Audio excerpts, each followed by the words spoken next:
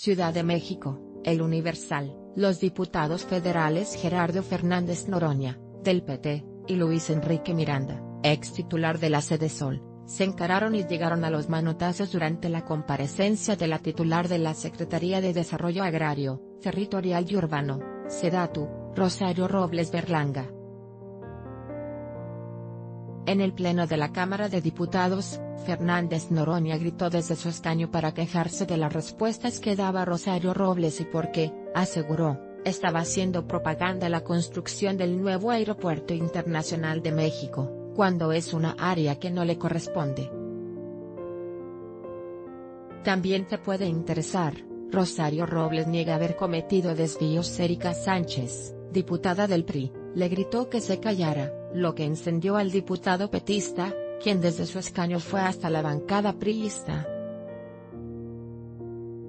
Noroña, vestido con un pantalón azul y una guayabera blanca, alzó el brazo derecho y con el dedo índice señalaba a los legisladores del PRI. Llaman a la compostura el pleno hizo un silencio y la presidenta en turno, Dolores Padierna, llamó la compostura. Noroña recorrió de abajo hacia arriba el pasillo central en busca de la diputada que le gritó. Entonces Luis Enrique Miranda y el coordinador priista, René Juárez, interceptaron al petista y se gritaron mutuamente.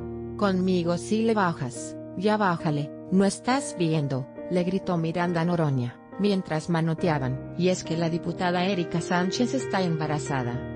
Gritos entre diputados René Juárez le quitó el brazo a Miranda, mientras ambos se gritaban.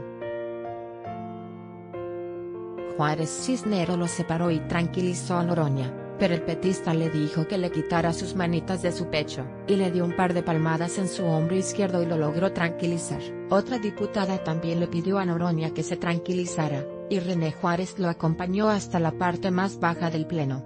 La situación no pasó a mayores y continuó la sesión.